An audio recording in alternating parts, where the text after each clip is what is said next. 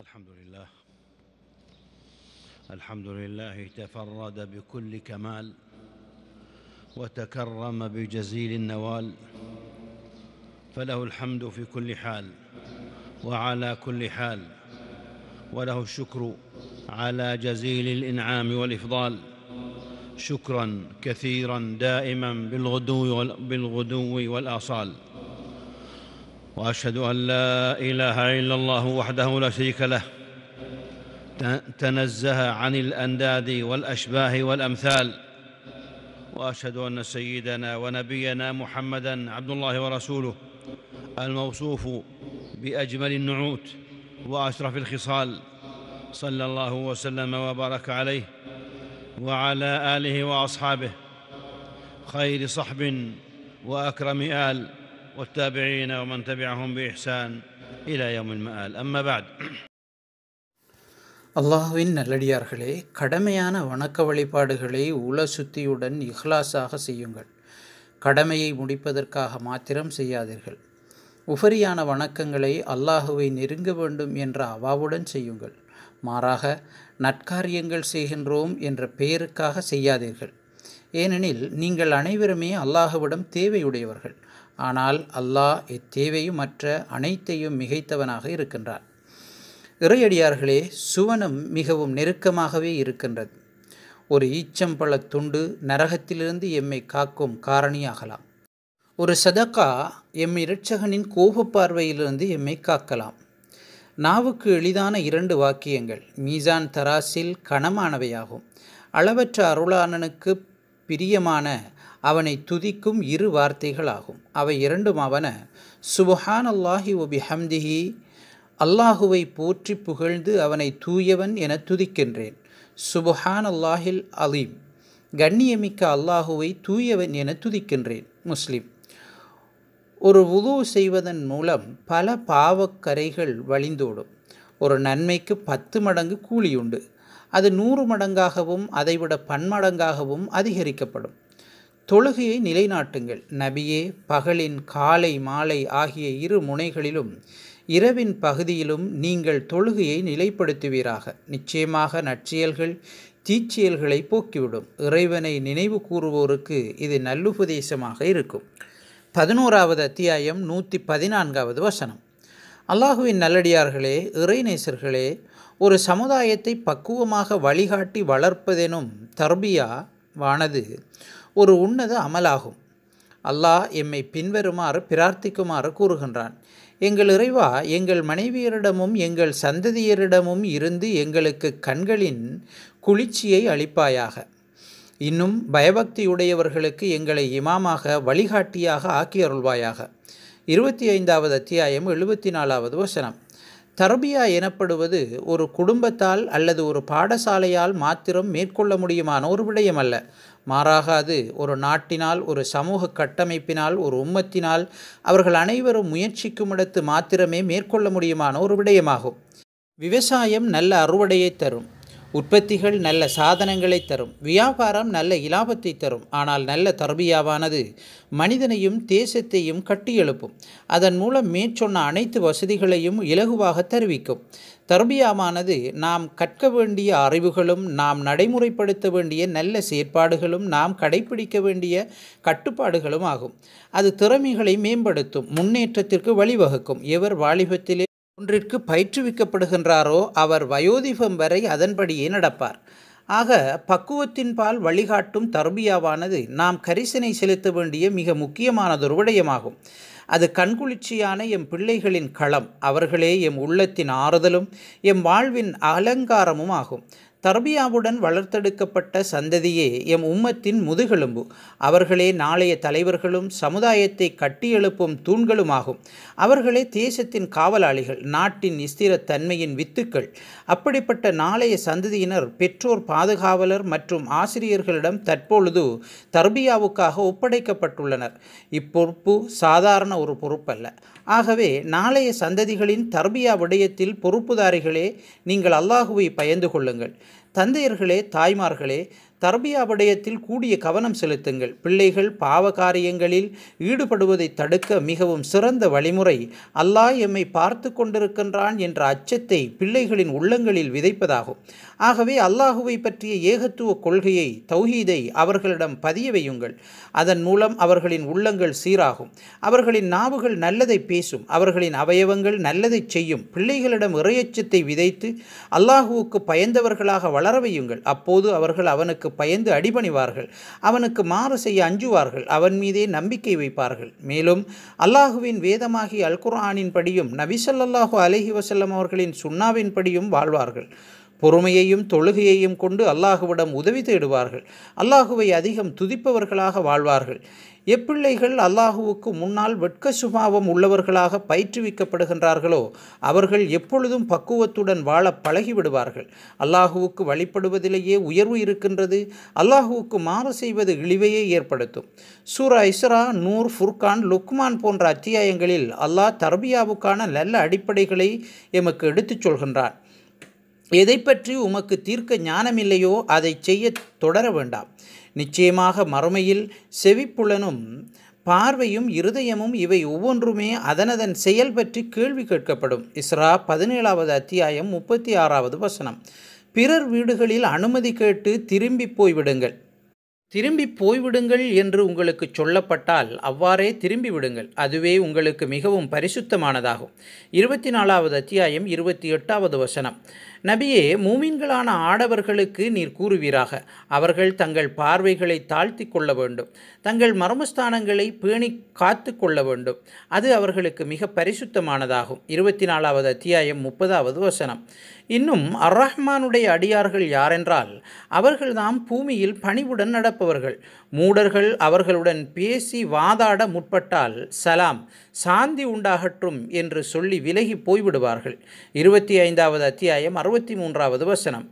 இன்னும் லுக்குமான் தம் புதல்வருக்கு என் அருமை மகனே நீ அல்லாஹுவுக்கு இணை வைக்காதே. நிச்சயமாக இணை வைத்தல் மிக பெரும் அநியாயமாகும் என்று நல்லுபதேசம் செய்து கூறியதை நினைவுபடுத்துவீராக. முப்பத்தி ஓராவது அத்தியாயம் பதிமூன்றாவது வசனம். என் அருமை மகனே நீ தொழுகையை நிலைநாட்டுவாயாக. நன்மையை ஏவி தீமையை விட்டும் மனிதர்களை விலக்குவாயாக. உனக்கு ஏற்படும் கஷ்டங்களை பொறுத்து கொள்வாயாக நிச்சயமாக இதுவே வீரமுள்ள செயல்களில் உள்ளதாகும். முப்பத்தி ஓராவது அத்தியாயம் பதினேழாவது வசனம். பொறுப்பாளிகளே பிள்ளைகளை அதிகமாக வாசிக்க தூண்டுங்கள். கல்வியை தேடுவதன் முக்கியத்துவத்தை எடுத்துச் சொல்லுங்கள். கல்வியானது அவர்களின் வாழ்வுக்கு வழிகாட்டும். தனிமையிலும் அது ஆறுதலாக அமையும். கல்வியிலேயே மிகவும் கரிசனை காட்ட வேண்டிய கல்வி புனித அல்குர்ஆன் பற்றிய கல்வியாகும். ஆகவே வீடுகளிலும் பாடசாலைகளிலும் அதனை ஓதுவதற்கும் செவிமடுப்பதற்கும் மனநமிடுவதற்கும் தூண்டுங்கள். ஒரு பிள்ளை அல்குர்ஆனை எந்த அளவுக்கு ஓதுகின்றதோ அந்த அளவுக்கு அப்பிள்ளையின் உள்ளம் சாந்தியடையும். அப்பிள்ளையின் வாழ்வு சந்தோஷம் மிக்கதாக இருக்கும். பயிற்றுவிப்பாளர்களே எம் பிள்ளைகளிடத்தில் அல்குரானின் மொழியாகிய எமது அரபு மொழி புலமையை மேம்படுத்துங்கள். எந்த ஒரு சமுதாயம் தனது பூர்வீக மொழியிலிருந்து தூரமாக்கப்படுகின்றதோ அதற்கென இருக்கும் பிரத்யேக நாட்காட்டியிலிருந்து தூரமாக்கப்படுகின்றதோ மேலும் பிற நாட்டு கலாச்சாரங்கள் உற்பத்திகளை கொண்டு பெருமைப்படுகின்றதோ அதுவே அந்த சமுதாயத்தின் பலகீனத்திற்கு சான்றாக அமைந்துவிடும். பயிற்றுவிப்பாளர்களே பிள்ளைகளை ஆசிரியர்களுக்கு செவிசாய்க்கவும் உபதேசிப்பவர்களை மதிக்கவும் நல்ல முன்மாதிரிகளை பின்பற்றவும் பயிற்றுவியுங்கள். பிள்ளைகளுக்கு நல்ல பண்பாடுகளை எடுத்துச் சொல்லுங்கள். பண்பாடுகள் உயர்ந்த சமுதாயம் இழிவுபடுத்தப்பட மாட்டாது. புத்தியின் அழகு நல்ல சிந்தனையில் உள்ளது. நாவின் அழகு மௌனத்தில் உள்ளது. பேச்சின் அழகு உண்மையுரைப்பதில் உள்ளது. இவ்வாறு ஒருவன் நேர்மையுடனும் நேர்த்தியாகவும் இருப்பது அவனின் வாழ்வையை அழகுபடுத்தும். தரபியாவுடன் கூடிய பக்குவத்தை பயிற்றுவி பயிற்றுவிக்க மிகவும் சிறந்த சாதனங்களில் ஒன்றுதான் சிறந்த முன்மாதிரிகளாகும். பிள்ளைகள் சிறந்தவர்களாக வளர அவர்களுக்கு மிகவும் தேவைப்படுவது சிறந்த முன்மாதிரிகளே தவிர அதிகம் விமர்சிப்பவர்கள் அல்ல. ஆகவே அவர்களிடம் வெறுமனே குறை காண்பவர்களாக மாத்திரம் இருக்காது. அவர்களுக்கு சிறந்த முன்மாதிரியாக பெற்றோர்கள் ஆசிரியர்கள் திகழ வேண்டும். பிள்ளைகளிடம் உண்மைத்தன்மையுடன் பழகுங்கள். அவர்களோடு அமர்ந்து உரையாடுங்கள். அவர்களுக்காக நேரம் ஒதுக்குங்கள். இன்று நீங்கள் அவர்களுக்காக நேரம் ஒதுக்கி அவர்களோடு சகவாசத்தை அதிகரித்து கொள்ளவில்லையாயின் அவர்களை நாளை உங்களுக்கு நேரம் ஒதுக்காதவர்களாக காண நேரலாம். அல்லாஹ் பாதுகாக்க வேண்டும். பெற்றோர்களே நீங்கள் உங்கள் பணத்தை அவர்களுக்காக செலவழிப்பதை விட உங்கள் நேரத்தை அவர்களுக்காக செலவழிப்பதுதான் மிகவும் அவசியமானது. அவர்களுக்காக முதலீடுகளை செய்வதை விட அவர்களையே மூலதனமாக மாற்றுவதே சிறந்தது. அவர்களுடன் புத்தி சாதுரியமாக நடப்பதன் மூலமும் உண்மை பேசுவதன் மூலமும் சுத்தமான உழைப்பின் மூலமும் நன்னடத்தையுடன் பழகுவதன் மூலமும் அவர்களுக்கு முன்மாதிரியாக திகழுங்கள். உமர் பின் உத்பா அவர்கள் தனது மகனின் பயிற்றுவிப்பாளிக்கு கூறினார்கள் என் மகனுக்காக நீர் முதலாவது செய்ய வேண்டியது உன்னை நீர் சீரானவனாக வைத்துக்கொள்வதாகும் ஏனெனில் என் மகனின் கண் உனது கண்ணையே பின்தொடரும். நீர் செய்யும் அனைத்தையும் அவன் நல்ல விடயமாகவே பார்ப்பான். நீ விட்டவற்றையே அவனும் தவிர்ந்து நடந்து கொள்வான். பிள்ளைகளுக்கு அதிகம் செவி சாயுங்கள். அவர்களுடன் அன்புடன் பழகுங்கள். அவர்களை உற்சாகமூட்டுங்கள். பயிற்றுவிப்பாளர்களே நவீன தொடர்பு சாதனங்களின் பயன்பாடு அதிகரித்திருக்கும் காலத்தில் அவர்களுக்கு அதன் நன்மை தீமைகளை எடுத்துச் சொல்லுங்கள். அவர்கள் தேவையற்ற சதிவலைகளில் சிந்தனா தாக்கத்தில் சிக்காமல் அவர்களை பாதுகாருங்கள். அனைத்து செய்திகளையும் உண்மைப்படுத்தலாகாது. அனைத்து ட்விட்களுக்கும் விலை போகலாகாது. அனைத்து இணையதளங்களையும் பின்தொடரக்கூடாது போன்ற உபதேசங்களை சொல்லுங்கள். அதே போன்று அவர்களும் இச்சாதனங்களையும் இணையதளங்களையும் பொய்யுரைப்பதற்காகவோ புறம்பேசுவதற்காகவோ கட்டுக்கதைகளை பரப்புவதற்காகவோ பயன்படுத்தக்கூடாது என்றும் உபதேசியுங்கள். இவ்விடயத்தில் அவர்களை கண்காணிக்க உரிய ஏற்பாடுகளை செய்து கொள்ளுங்கள். பயிற்றுவிப்பாளர்களே பிள்ளைகளிடம் ஆளுமையை வளர்த்தெடுங்கள். கண்மூடித்தனமாக பின்பற்றுவதை விட்டு அவர்களை தூரமாக்குங்கள். உலக பிரபலங்களை கண்மூடித்தனமாக மோகம் கொள்வதும் நடை உடை பாவனைகளில் அவர்களை பின்பற்றுவதும் கவலை பட வேண்டிய மோசமான பழக்கங்களாகும். கண்ணியத்தை நாம் முதலில் அல்லாஹுவுக்கும் அவனுடைய தூதருக்கும் மூமின்களுக்குமே வழங்க வேண்டும். மேலும் அவர்களுக்கு நீங்கள் எடுத்துச் சொல்ல வேண்டியவைதான். தவறுகளை அதிகமானவர்கள் செய்வதனால் அவை சரியாகிவிடாது. அதே போன்று சரியானவற்றை அதிகமானவர்கள் செய்ய தவறுவதனால் அவை பிழையாகிவிடவும் மாட்டாது. நல்ல விடயங்கள் எப்பொழுதும் நல்ல விடயங்களாகவே இருக்கும். மோசமானவைகள் ஹராமானவைகள் எப்போதும் தவிர்க்கப்பட வேண்டியவைகளே. பயிற்றுவிப்பாளர்களே விடாமுயற்சியை நேர முகாமைத்துவத்தை பொறுப்புகளை சுமப்பதை பிள்ளைகளுக்கு பழக்குங்கள். எவர் அதிகமாக ஓய்வெடுப்பாரோ சோம்பரிப்பாரோ அவர் சமூகத்தில் பின்தள்ளப்படுவார். விடாமுயற்சியின் மூலமே அடைவுகளை அதிகரிக்க முடியும். ஏன்? நேர்வழியும் கூட முயற்சிக்காமல் எமக்கு கிட்டாது. அல்லாஹ் கூறுகிறான் மேலும் எவர்கள் நம்முடைய வழியில் முயல்கின்றார்களோ நிச்சயமாக அவர்களை நம்முடைய நேரான வழிகளில் நாம் செலுத்துவோம். நிச்சயமாக அல்லாஹ் நன்மை செய்வோருடனேயே இருக்கின்றான். இருபத்தி ஒன்பதாவது அத்தியாயம் அறுபத்தி ஒன்பதாவது வசனம். மேலும் பயிற்றுவிப்பாளர்களே நல்ல தர்பியாவின் அடிப்படைகளில் பிரதானமானவைதான். கருத்து வேறுபாடுகளை குறைப்பது. துருவி ஆராய்வதை தவிர்ப்பது உண்மையான சாட்டுக்களை காரணிகளை ஏற்றுக்கொள்வது தீங்கிழைக்காது நடப்பது நல்ல வார்த்தைகளை பயன்படுத்துவது முகமலர்ச்சியுடன் வரவேற்பது போன்றவை ஆகும் அதேவேளை அதிகம் நிந்திப்பது சப்தத்தை உயர்த்துவது ஒரு பிள்ளையை இன்னொரு பிள்ளையுடன் ஒப்பிட்டு மட்டம் தட்டுவது போன்றவை தர்பியாவில் தவிர்க்கப்பட வேண்டியவைகளாகும். மேலும் ஒரு பிள்ளையின் தர்பியாவிலே அப்பிள்ளையின் வீட்டிலுள்ள அன்பும் பரஸ்பர சுபீட்சமும் மிகவும் தாக்கம் செலுத்தும். அல்லாஹ் கூறுகின்றான் மூமின்களே உங்களையும் உங்கள் குடும்பத்தாரையும் நரக நெருப்பை விட்டும் காப்பாற்றிக் கொள்ளுங்கள். அதன் எரிபொருள் மனிதர்களும் கல்லுமையாகும். அதில் கடுமையான பலசாலிகளான மலக்குகள் காவல் இருக்கின்றனர். அல்லாஹ் அவர்களை ஏவி எதிலும் அவர்கள் மாறு செய்ய மாட்டார்கள். நாங்கள் ஏவப்பட்டபடியே அவர்கள் செய்து வருவார்கள். அறுபத்தி ஆறாவது அத்தியாயம் ஆறாவது வசனம். பயிற்றுவிப்பாளர்களே பிள்ளைகளுக்கு நாம் வழங்கும் தர்பியாவானது நன்மை தரும் ஒரு வணக்கமாகும். நல்ல தர்பியாவின் மூலமே நாம் எமது நாட்டை தேசத்தை பாதுகாக்க முடியும். நல்ல சந்ததியே நாட்டின் சிறந்த படையாகும். ஆகவே அவர்களுக்கு நாட்டுப்பற்றின் யதார்த்தத்தை கற்றுக் கொடுங்கள். நாட்டுப்பற்று என்பது நாட்டை கட்டியெழுப்புவதிலும் அதனை பாதுகாப்பதிலும் அதன் சொத்துக்களை மதிப்பதிலும் தங்கியிருக்கின்றது. ஒவ்வொருவரும் அவரின் தேசத்தின் மீது அன்பு கொள்ள வேண்டும். அதற்காக அர்ப்பணிப்புடன் செயற்பட வேண்டும்.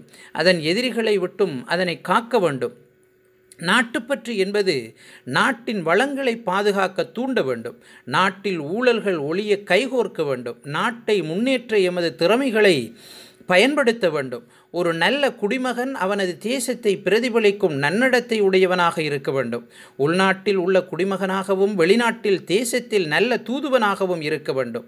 ஒரு நல்ல தேசப்பற்றுள்ள குடிமகன் அவனின் தேசத்திற்கும் தேசத்தின் தலைவர்கள் பொறுப்பாளிகளுக்கும் உண்மைத்தன்மை உடையவனாகவும் அவர்களுக்கு உதவுபவனாகவும் அவர்களுக்காக பிரார்த்திப்பவனாகவும் இருப்பான். நாட்டுப்பற்றானது பிரதேசவாதங்கள் கோத்திரவாதங்களை களையும் காரணியாக இருக்க வேண்டும். அல்லாஹுவின் நல்லடியார்களே தேசப்பற்று என்பது இவ்வாறான நல்ல விடயங்களை உள்ளடக்கியிருக்கின்ற அதேவேளை குறிப்பாக எமது தேசத்தின் பற்று இஸ்லாமிய மார்க்கத்துடன் கலந்த ஒரு பற்றாகும். அது இரண்டு புனித ஸ்தலங்களையும் தன்னகத்தை கொண்ட தேசத்தின் பற்றாகும். அது அல்குர்ஆனின் மீது நாம் வைக்கும் பற்றாகும். நம் நபிசல்லாஹு அலஹி வசல்லம் அவர்கள் மீதும் அவர்களின் சுண்ணாவின் மீதும் நாம் வைக்கும் பற்றாகும். நம் முன்னோர்களான செலவுகளின் வாழ்வில் நாம் வைக்கும் பற்றாகும். ஆகவேதான் இந்த தேசத்தின் தலைவர் சுமக்கும் மிக உயர்ந்த பட்டமாக இரு புனித ஸ்தலங்களின் பணியாளர் என்ற பட்டம் இருக்கின்றது. நிச்சயமாக இரு புனித ஸ்தலங்களும் செய்ய வேண்டிய பணிகளில் குடிமக்களாகிய நாம் அனைவரும் எம் தலைவருக்கு உறுதுணையாக இருக்க வேண்டும். ஆகவே எமது நாட்டின் மீது நாம் வைக்க வேண்டிய பற்றையும் அதற்காக வேண்டி நாம் சுமந்துள்ள பொறுப்புகளையும் நாம் நன்குணர்ந்தவர்களாக செயற்பட வேண்டும். நபி ஸல்லல்லாஹு அலைஹி வஸல்லம் அவர்கள் கூறினார்கள் நினைவில் கொள்ளுங்கள் நீங்கள் ஒவ்வொருவரும் பொறுப்பாளிகளே உங்களில் ஒவ்வொருவரும் தத்தமது பொறுப்புகளில் உள்ளவை பற்றி மறுமையில் விசாரிக்கப்படுவீர்கள். ஒரு ஆண் தன் குடும்பத்தாருக்கு பொறுப்பாளனாவான். அவன் தன் பொறுப்புக்குட்பட்டவர்கள் குறித்து விசாரிக்கப்படுவான். ஒரு பெண் தன் கணவனின் இல்லத்துக்கும் அவனுடைய குழந்தைக்கும் பொறுப்பாளியாவாள். அவள் அவர்கள் குறித்து விசாரிக்கப்படுவாள். ஆகவே உங்களில் ஒவ்வொருவரும் பொறுப்பாளிகளே. உங்களில் ஒவ்வொருவரும் தத்தமது பொறுப்புக்குட்பட்டவை குறித்து விசாரிக்கப்படுவீர்கள். முஸ்லிம். அல்லாஹுவே உனக்கே புகழனைத்தும். நீதான் எங்களை படைத்தவன் எங்களுக்கு உணவளிப்பவன் எங்களுக்கு நேர்வழி காட்டியவன் எங்களை பாதுகாப்பவன். உனக்கே புகழனைத்தும் அல்ஹம்துலில்லா. இறைவா எவர் எமக்கு எதிராகவும் எமது தேசத்திற்கு எதிராகவும் எமது ஆட்சி தலைவர்களுக்கு எதிராகவும் எமது உளமாக்களுக்கு எதிராகவும் எமது பாதுகாப்பிற்கு எதிராகவும் எமது படையினருக்கு எதிராகவும் சூழ்ச்சி செய்கின்றார்களோ? இறைவா நீயே அவர்களை தடுத்து விடுவாயாக. அவர்களுக்கான தண்டனையை நீயே கொடுப்பாயாக. அப்படிப்பட்டவர்களுக்கு இறங்கும் தண்டனைகளை மற்றவர்களுக்கு படிப்பினையாக வைப்பாயாக ஆமீன் என் பெருமானார் நபி ஸல்லல்லாஹு அலைஹி வஸல்லம் அவர்கள் மீது சலவாத்தையும் சலாத்தையும் அதிகம் சொல்வோமாக وصلى الله وسلم وبارك على نبينا محمد وعلى آله وأصحابه وأتباعه بإحسان سبحان ربك رب العزة عما يصفون وسلام على المرسلين والحمد لله رب العالمين